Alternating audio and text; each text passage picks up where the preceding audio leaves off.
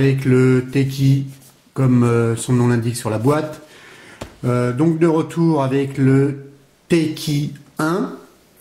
on va faire un petit point parce qu'on a pas mal de questions autour de ce smartphone. donc, il a été créé au départ par des Américains. Il appartient toujours d'ailleurs à des Américains. Euh, fabricant, enfin les créateurs Istar, euh, il existait avec un socle euh, sur lequel on mettait donc le smartphone qui avait quatre caméras aux quatre coins ici. Petite coupure à cause du téléphone, donc je reviens à mes quatre caméras, donc une caméra dans chaque coin, qui permettait en fait de capter exactement la position de l'œil et euh, interagir en fait sur euh, les actions euh, qui avaient lieu sur l'écran. Donc que ce soit des jeux ou applications traditionnelles. donc ce modèle était sorti à l'époque à un prix assez, on va dire, exorbitant. il est depuis donc ressorti sous cette forme-là, avec une boîte simplifiée, ainsi que, on va dire, euh, un smartphone simplifié aussi. Euh, ce smartphone devait sortir au départ en fait avec euh, deux batteries de 2500 mAh intégrées dans, sous sa coque. Aujourd'hui, il n'existe plus que avec une seule batterie de 2500 mAh.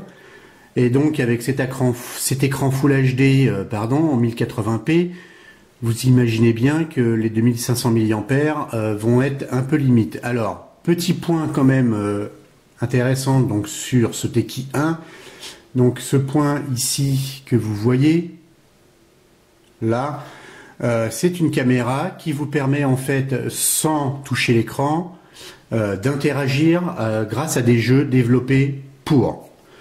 mais ces jeux, on ne les trouve pas sur le Play Store, on les trouve sur un site dédié en Chine, uniquement écrit en chinois malheureusement.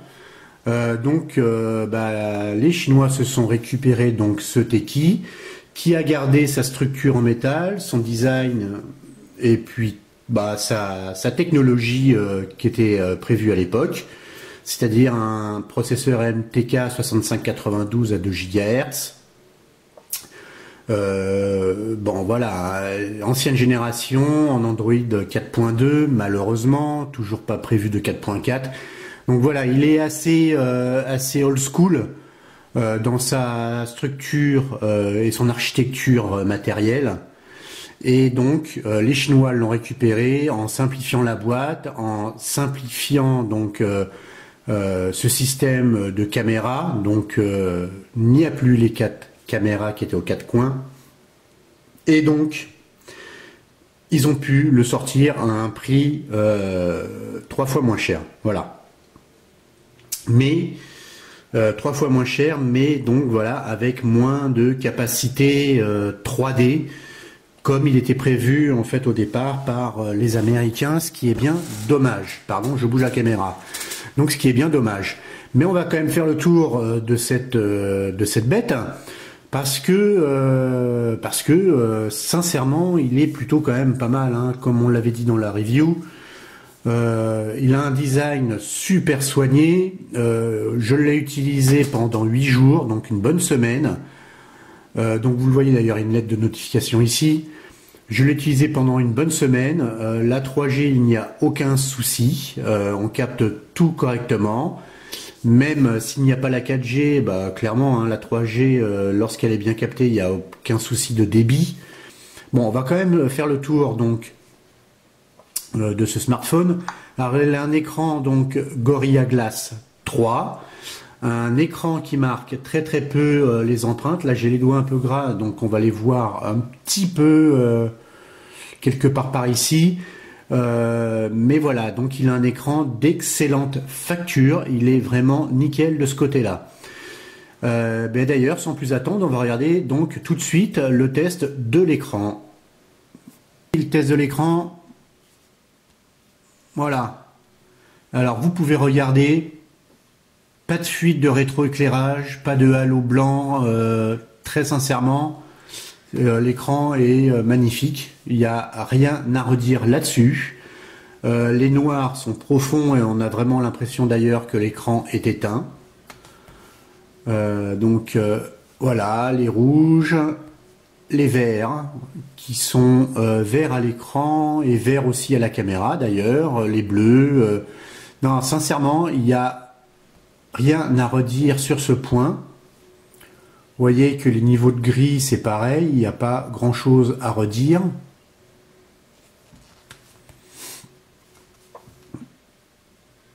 Alors peut-être que, euh, bon ça c'est la caméra a priori, parce que à l'œil nu les verts et les jaunes sont bien distincts. À, la caméra, ils sont euh, difficilement différenciables quand même. Hein. Euh, ouais, bon, c'est la caméra, ça et les verts, ça le fait pas. Donc euh, bref, voilà pour la, qualité de l'écran. Euh, très sincèrement, l'écran, c'est vraiment le point fort euh, de ce smartphone. point fort, donc écran et cadre métallique. on pèsera après, donc c'est ce qui va peut-être faire aussi son poids. Mais cadre métallique et écran, c'est vraiment le point fort de ce Teki 1 avec un, toucher euh, au niveau du tactile qui est vraiment euh, juste parfait. Donc au niveau de la batterie, donc vous allez voir.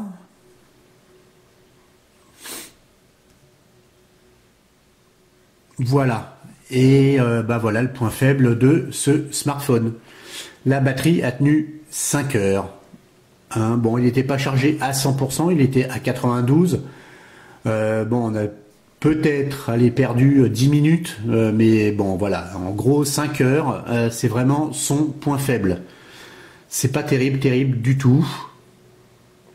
si on regarde donc justement l'information du système tout de suite, et donc vous allez voir que les Chinois l'ont laissé sous le nom, donc ils ont récupéré la technologie, mais euh, très sincèrement, voilà, les Américains ont passé un accord avec euh, les Chinois. Il y a un site créé en Chine qui s'appelle Teki.cn. Euh, et donc vous voyez que l'OS Android est sous 4.2.2. Et on a bien en fait le fabricant initial, le créateur, eStar, site internet d'ailleurs, eStar qui existe aux États-Unis. Hein, donc il existe toujours. Euh, ensuite, on a donc le processeur en 6592 à 2 GHz, un 8 cœurs. Euh, je vais me mettre peut-être un peu plus comme ça, voilà, 2 Go de RAM.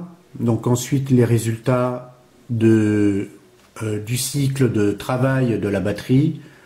Bon, ça sert pas à grand chose puisque de toute manière, vous l'avez bien vu, 2500 mAh dans ce type de smartphone. C'est super, super léger. Hein. Il y a, bon, c'est un peu, euh, vraiment, c'est vraiment dommage.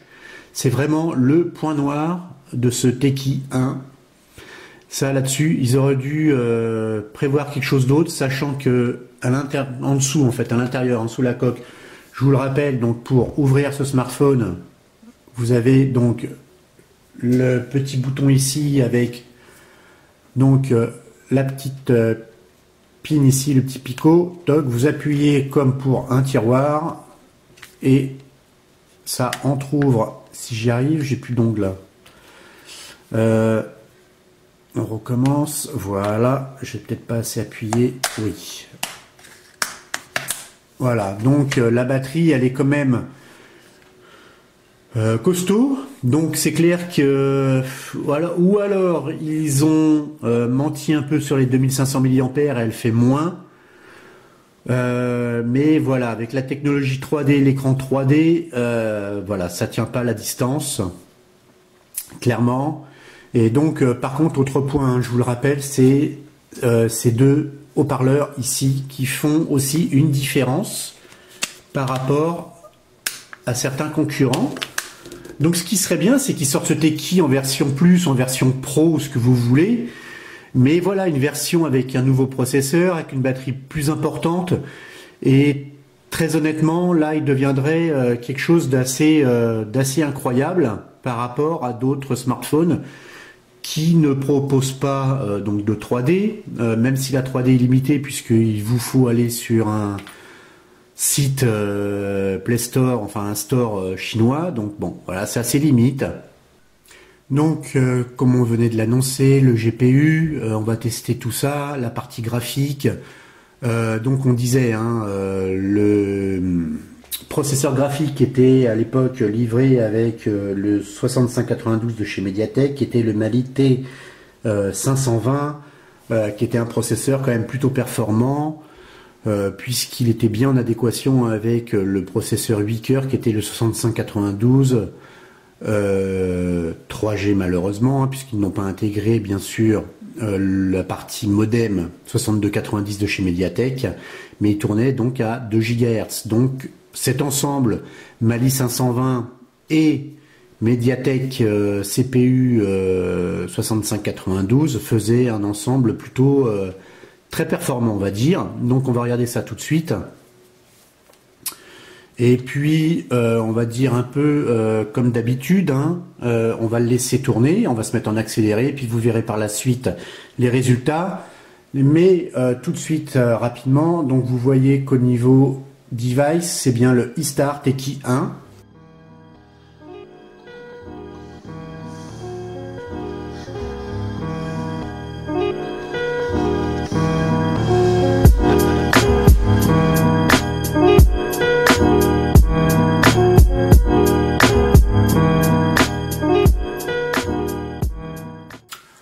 Résultats.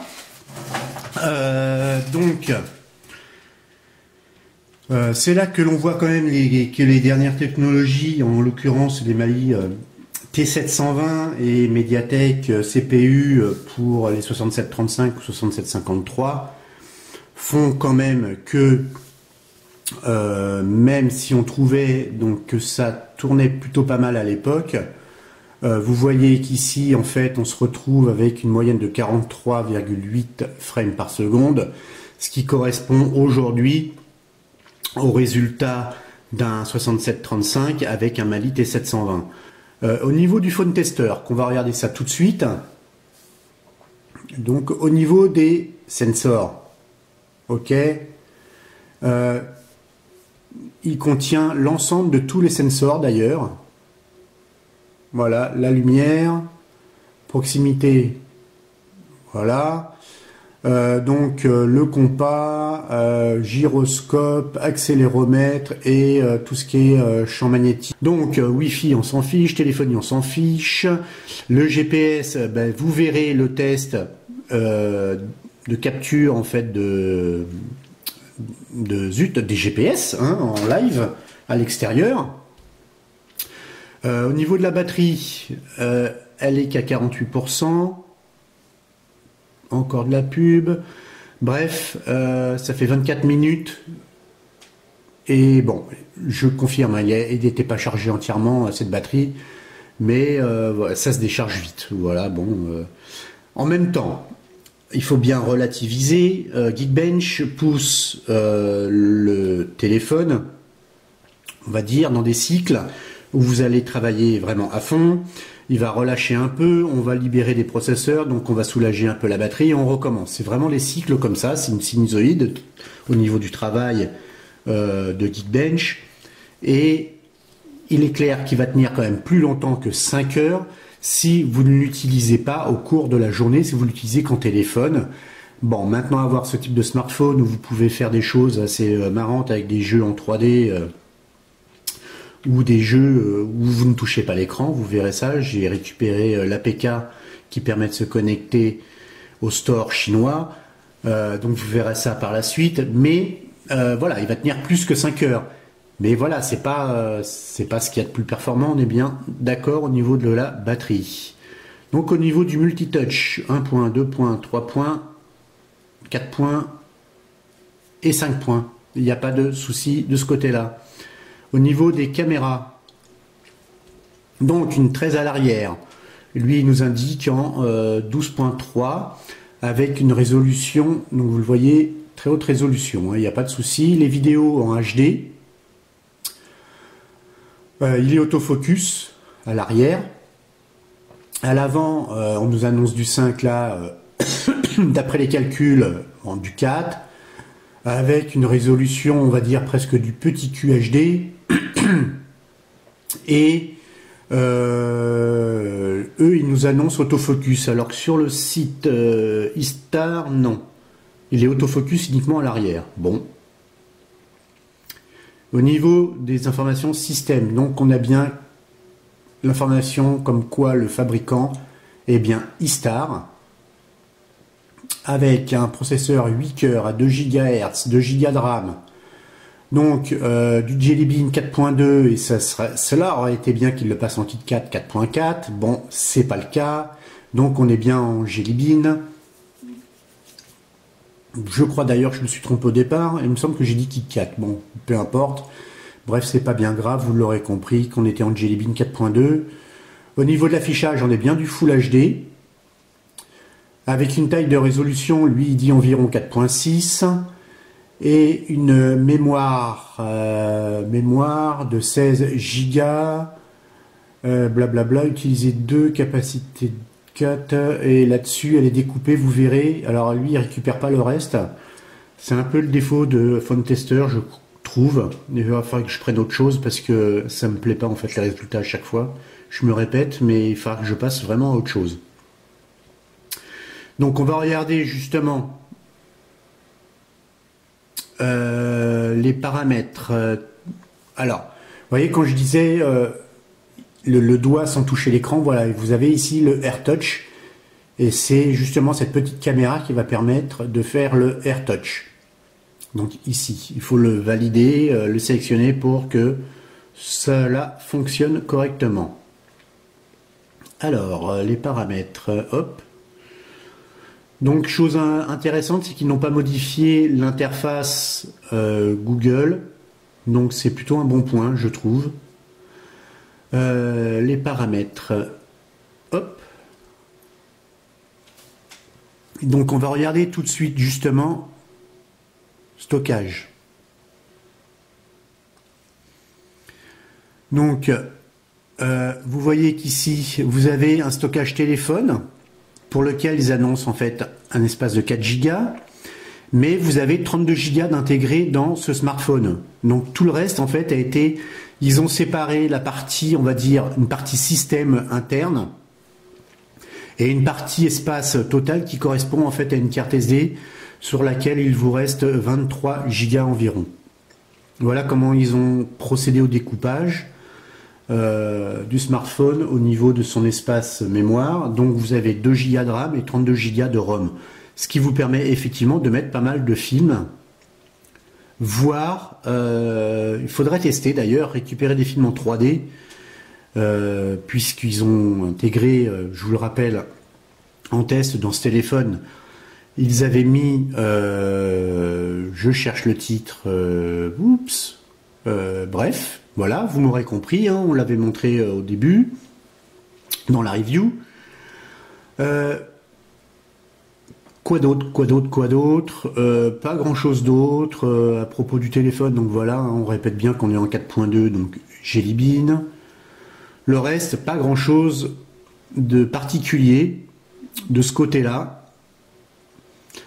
Ensuite, euh, on va faire, je sais pas, bon, moi je trouve pas ça utile, le test en toutou. Euh, je l'ai chargé, hein, donc il est installé, mais euh, voilà, il est là. Euh, je trouve pas ça très utile. 65-92, euh, voilà, on était dans les 20, 28 000 points, 25 000 points, je crois. Si ma, ma, mémoire est bonne, si mes souvenirs sont bons, on doit être autour de ce, ce score de 25-26 000. Bref, donc je trouve pas ça très utile. Euh, par contre, euh, ce qu'on peut regarder rapidement, donc c'est refaire un point par rapport à la vidéo. Ah, bah alors.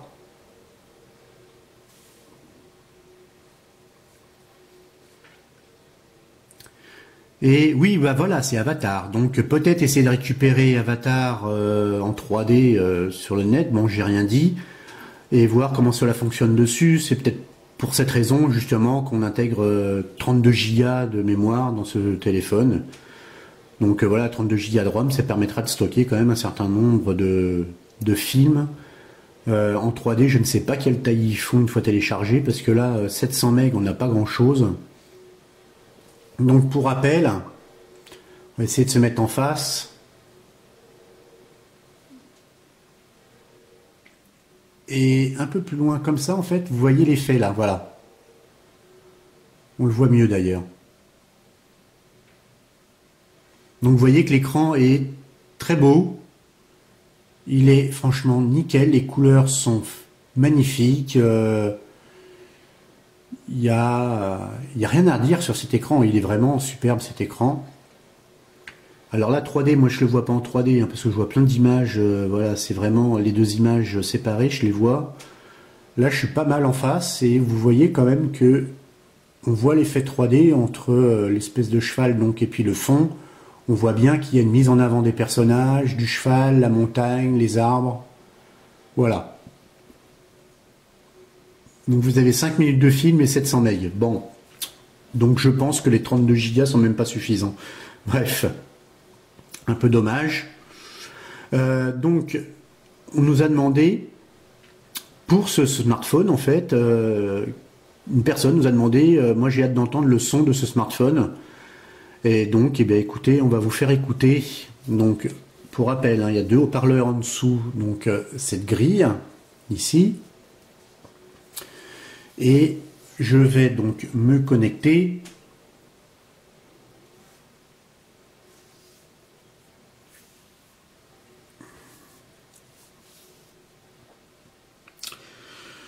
sur SoundCloud.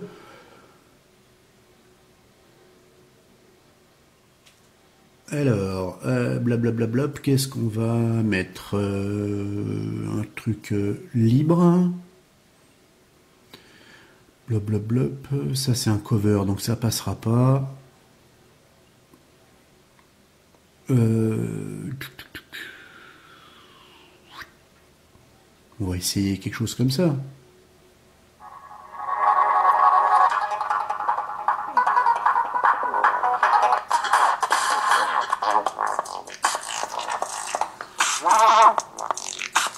On va se mettre à fond.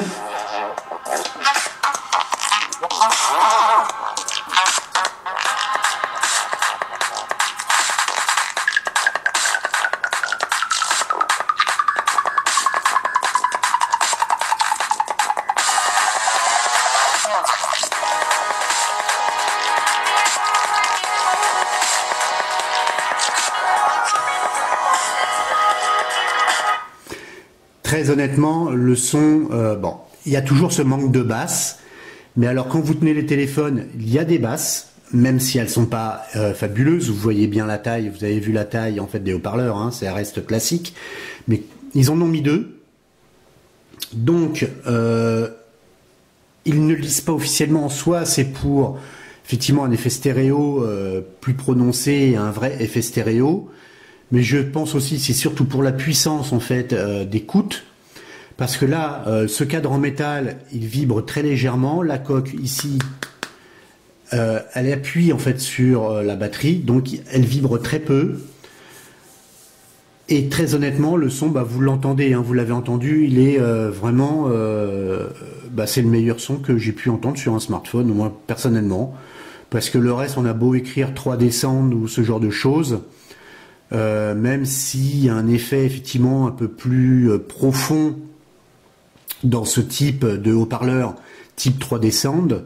Euh, là, c'est pas indiqué 3D Sound, mais c'est juste, voilà, c'est juste c'est juste incroyable comme son par rapport à un, smartphone. Hein, on le rappelle, c'est pas par rapport à une chaîne IFI ou ce genre de choses, ou même une soundbox. Là, c'est juste que vraiment pour, voilà très clair.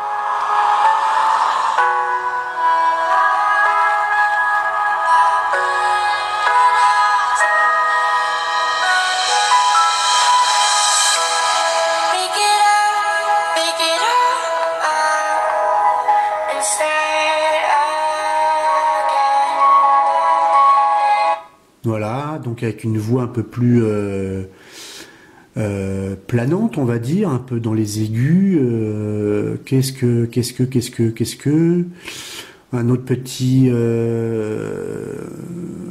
on va chercher là-dedans.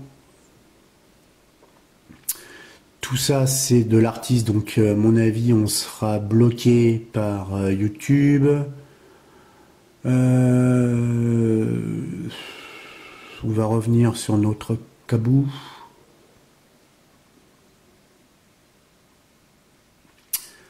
Et on va se mettre là-dessus.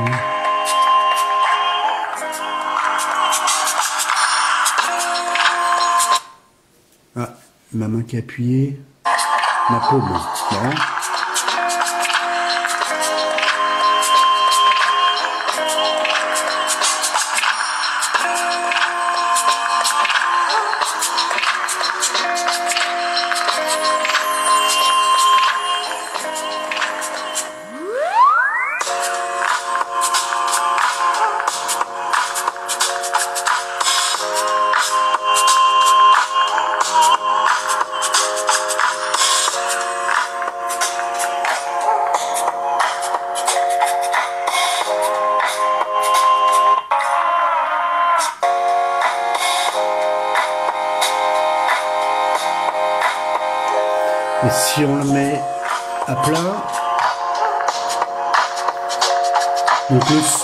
Étouffé, mais pas tant que ça.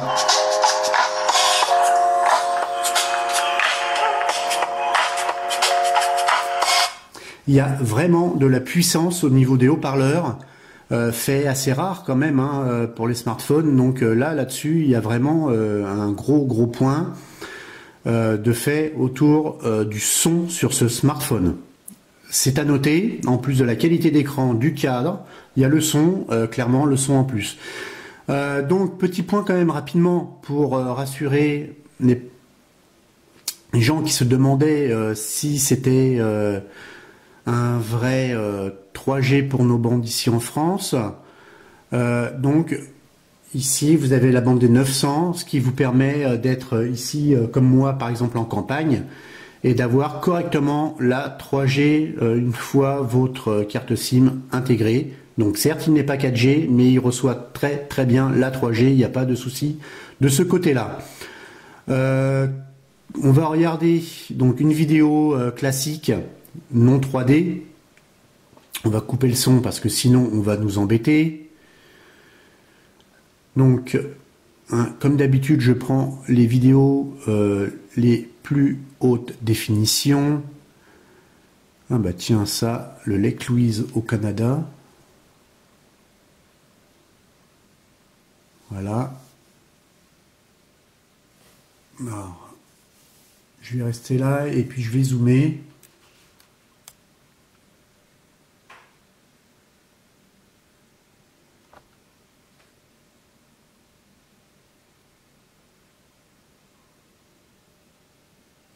Donc vous l'écran, euh, il est vraiment, vraiment superbe. Euh, aussi, euh, aussi bien donc en 3D que en 2D, là voilà. les couleurs sont magnifiques, le rendu est magnifique, c'est un écran vraiment superbe. Il y a vraiment, vraiment rien à dire de ce côté-là. Et c'est vraiment ce que je trouve dommage, c'est qu'en termes de techno embarqué, on soit sur un vieux processeur, un vieil Android, voilà, c'est ce qui fait vraiment le point négatif de ce smartphone. Euh, donc, euh, ce qu'on va regarder tout de suite, et on clôturera par la suite. Euh, donc, je vous montre tout de suite le test du GPS en live à l'extérieur, de l'autre côté, et bah, tout de suite.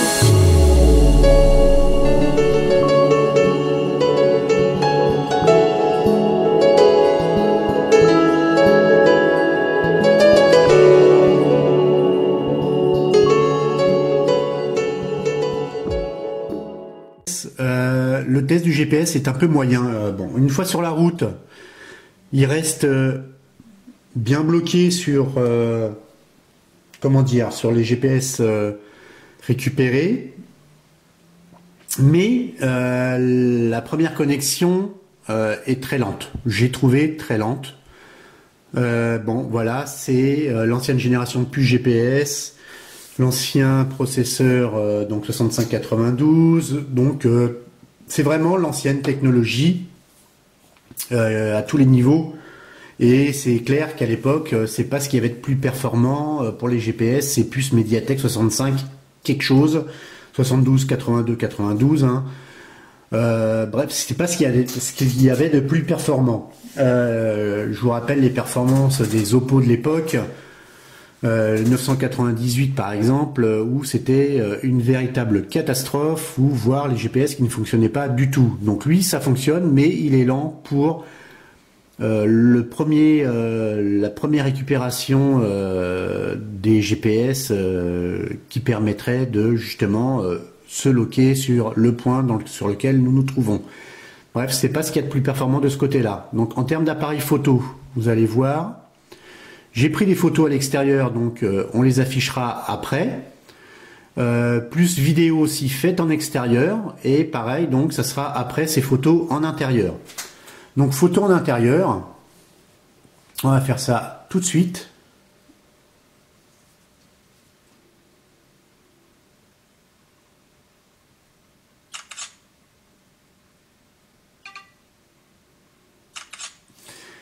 Euh, il est, comment dire, peut-être, euh, vous avez vu, il est un peu lent euh, sur euh, la mise au point.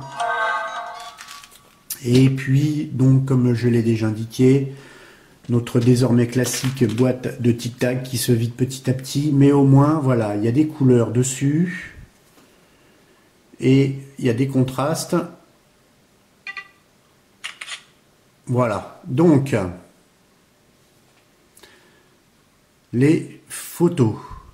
On va zoomer pour vous montrer la qualité des photos. Alors, à première vue, elle est plutôt pas mal.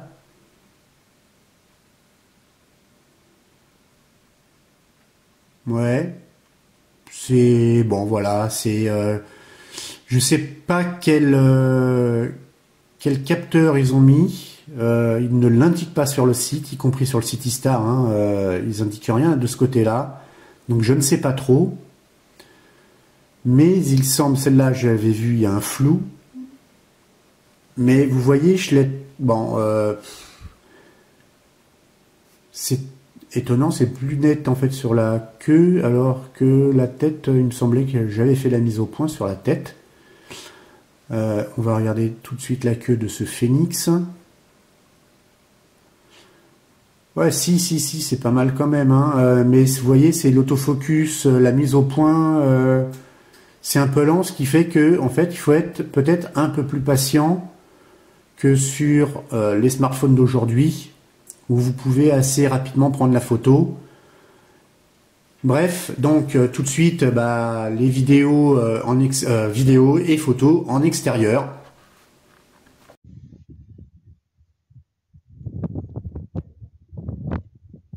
Donc vous avez vu la caméra en extérieur avec donc prise de vue photo et vidéo.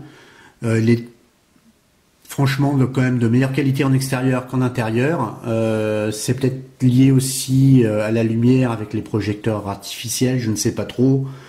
Mais bon, le souci il est que euh, l'autofocus est lent de toute manière. Donc rapidement un petit test de, jeu. On va faire rapide, hein, c'est pas la peine de s'étaler là-dessus. Mali 520, bref, donc on va zoomer. Hop.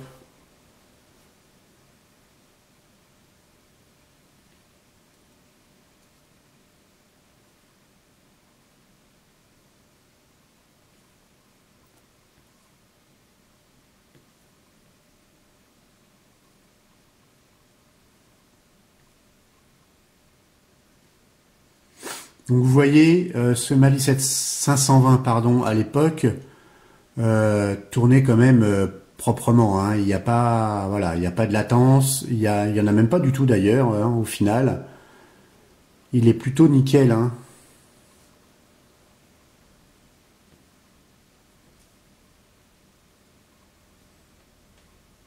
Donc voilà, vous avez vu, ça tourne plutôt quand même pas mal.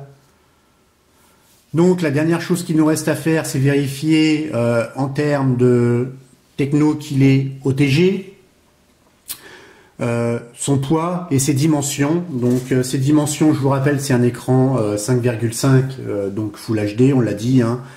vous avez une lettre de notification. Les boutons ne sont pas rétroéclairés, mais ils sont très métallisés, donc très visibles. bon point de ce côté-là, même s'ils ne sont pas rétroéclairés, au moins ils sont très visibles. Et donc tout de suite, ben, on va tester l'OTG, euh, mesurer son poids et puis ben, ses dimensions. L'OTG avec notre câble OTG et notre clé USB puisque notre lecteur de carte micro SD ne fonctionne plus. Hop, on branche notre clé et il est bien OTG. Je retrouve euh, le gestionnaire. Il est où Il est où Il est où? Il l'a ouvert. Euh, bref, alors notre gestionnaire de fichiers, il est où? Hop. Euh, gestionnaire, gestionnaire de fichiers, fichiers, gestionnaire de fichiers. Voilà, stockage USB externe. Voilà, notre clé USB de 16 Go est bien là. Il n'y a pas de souci de ce côté-là. Voilà, il est démonté. Alors, au niveau de ses dimensions, c'est quand même euh, un smartphone, euh, on va dire, euh, imposant en main. On a environ 15 par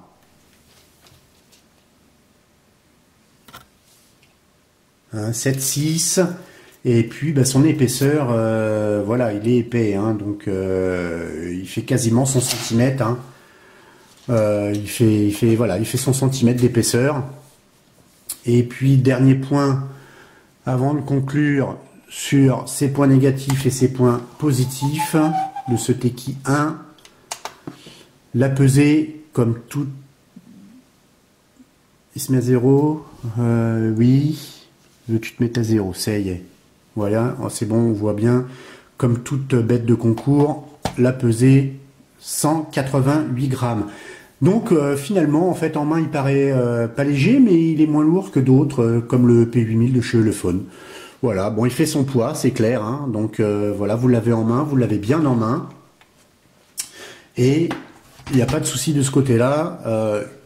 et au petit point que je voulais vous montrer, grâce au téléchargement en fait de cette application Store en Chine, un petit jeu qu'il faut que je retrouve. Blablabla. Bla, bla, voilà. Alors, vous avez ici, je vais zoomer.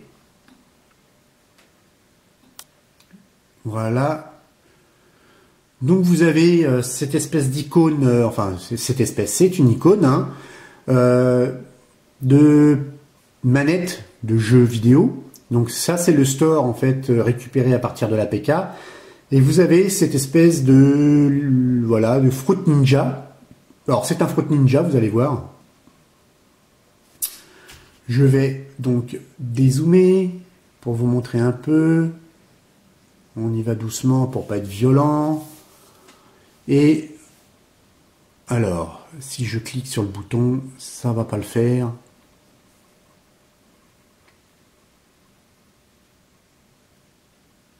Voyez le point Voilà. Donc la caméra suit mon doigt. Et euh, je ne sais plus où j'en suis, parce que je regarde la caméra en même temps. Euh, toc. Alors, voilà. Je crois que c'est mieux comme ça quand on... Alors Oui, non, il y va, il y va pas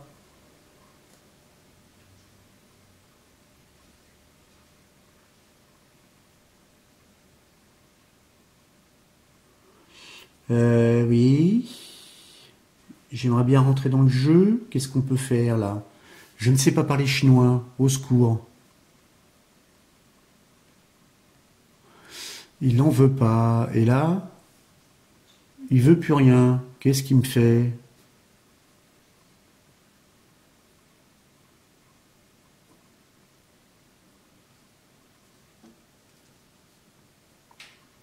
Ah ah Alors, on va relancer ce jeu. Donc, vous voyez le point là, on le voit bien. Voilà. Donc, euh, il me dit de cliquer à droite ou à gauche ici sur New ou je ne sais quoi. C'est ce que j'ai fait. On voit qu'il a pris, mais après, euh, là, j'avoue que euh, au secours,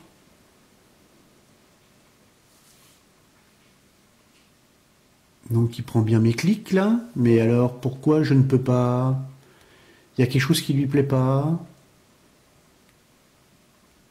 Il y a quelque chose qui lui plaît pas. Ah. Bon. Ici, ok.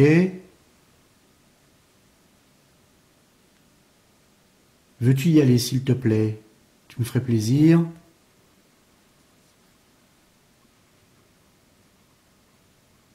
Tu me ferais plaisir d'y aller. Hop. Au secours, je ne comprends rien là. Oh, c'est pénible. Donc le 6. Le 6, je ne l'ai pas fait. Donc va-t-il démarrer? Oui Non? Oui. Ah bah voilà. Alors attendez, il faut que je retrouve mon doigt. Voilà. Voyez? Donc sans toucher l'écran, Il vous faut toucher donc euh, les, fruits là, comme Fruit Ninja, mais sans toucher l'écran. Voilà.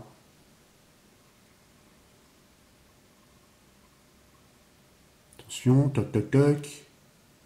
Alors il faut être, euh, c'est très sensible, hein, le suivi du doigt est très très très euh, sensible. Donc il y a plein de petits jeux comme ça. il y en a un autre, je ne l'ai pas testé encore d'ailleurs, mais voilà. J'avais testé un autre, euh, j'avais récupéré un autre jeu.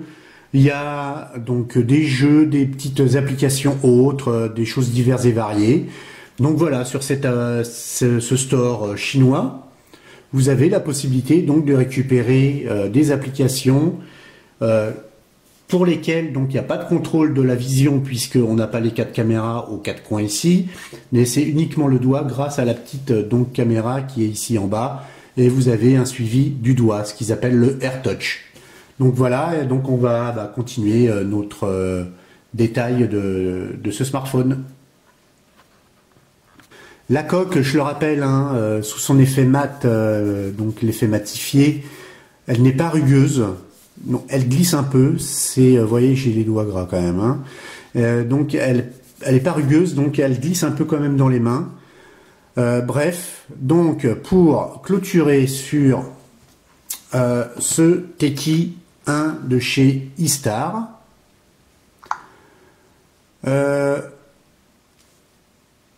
je trouve que c'est un excellent smartphone de par sa conception, sa finition, son écran, sa structure métallique est une vraie structure métallique costaud. on sent que derrière il y a un gros travail de fait au niveau de l'usinage de cette pièce métallique. Euh, la petite finition qui fait aussi euh, la chose, c'est donc, je vous le rappelle, on va essayer de zoomer dessus, ici, voilà. Donc ces petits trous pour le haut-parleur lorsque euh, vous êtes au téléphone, y compris ici un micro de compensation pour atténuer les bruits extérieurs lorsque vous êtes en communication aussi. Donc c'est vraiment son point positif, écran, Vraiment, l'écran, c'est le plus gros point positif sur ce smartphone. Euh, sa finition, cadre métallique, excellente, très très belle finition. 32 euh, Go de RAM, euh, pardon, 32 Go de ROM et 2 Go de RAM. je vous dis à bientôt, portez-vous bien et à plus. Ciao